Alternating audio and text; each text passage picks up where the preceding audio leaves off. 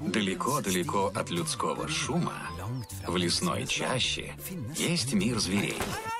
А вот и я. У кого-нибудь орешки есть? Меня зовут Клаус, и я живу в волшебном лесу.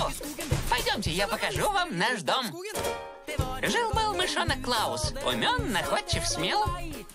И лучше всех тот Клаус. Играл, плясал и пел. Нужно испечь имбирное печенье. Да это проще простого. Выучи имбирную песенку, и будет тебе печенье. Без песен. Жить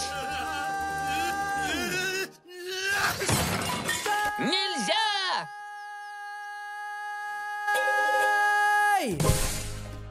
Пока у нас в лесу не все благополучно. И как только не стыдно лесным зверям есть друг дружку. Так повелось испокон веков. Кто смел, тот и съел. Кто придумал, что салат повернет судьбу на лад? Для мышат салат сгодится, лисы может отравиться. Неужели звери едят друг друга? Такое бывает. Главный злодей лис.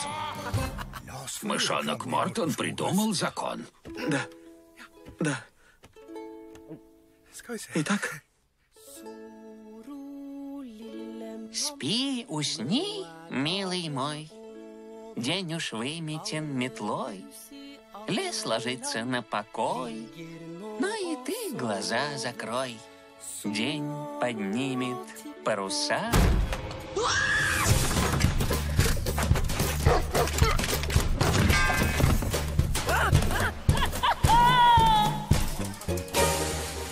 Эти звери приготовили отличную историю. Вот и я.